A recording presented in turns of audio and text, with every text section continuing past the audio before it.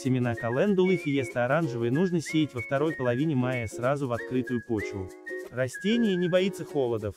Для рассады календулы фиеста оранжевой выбирают участки с плодородной почвой на солнечных местах. Период цветения длится с начала июля по середину сентября. В диаметре цветы достигают 10 сантиметров. Лепестки окрашены в оранжевый цвет, который переливается на солнце.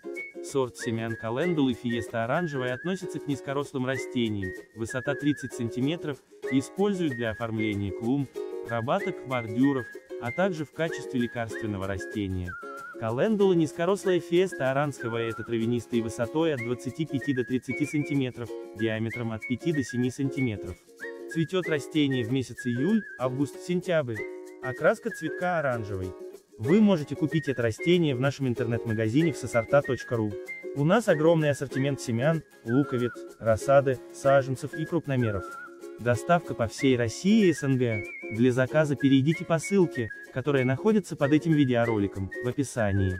Лайкайте наши видео и подписывайтесь на наш канал, чтобы раньше всех узнавать про новинки российской и зарубежной селекции.